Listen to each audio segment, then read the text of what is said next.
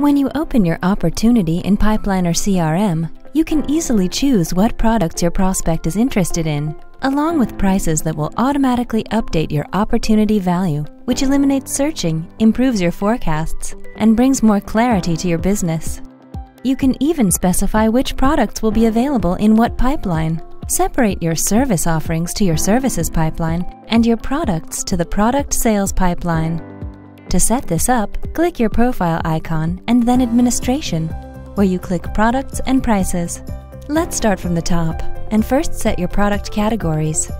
Edit or delete your existing categories here or add new category here. Type in name like Services and if you want this to be a subcategory, within this dropdown select what will be parent category and hit Save we prepared a structure where main categories are services and products, and then within services we have setup, consulting, and pipeliner training. In products, we don't have any other subcategories.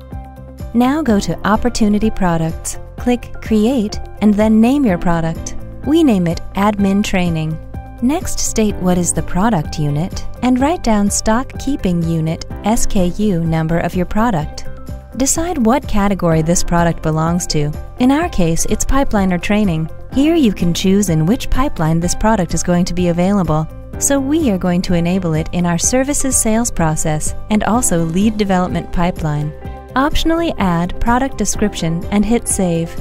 Again, you can delete or edit your products here, or select multiple ones to delete them all at once.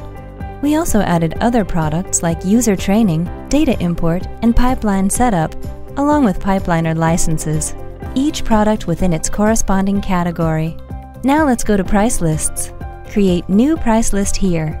You need to specify start and end date during which these prices will be valid. And then just type in your prices for each product. As you see, you can have different prices in different currencies.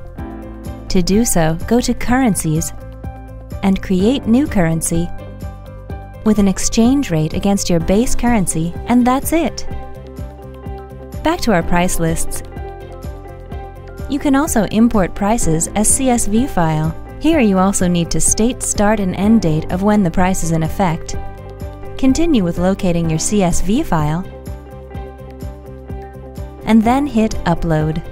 Now our CSV files uses comma as separator, so we will change it. Also, our columns contain headers, so we will make sure we have this selected. Now you just need to map your CSV columns to appropriate fields by drag and drop, and it is done.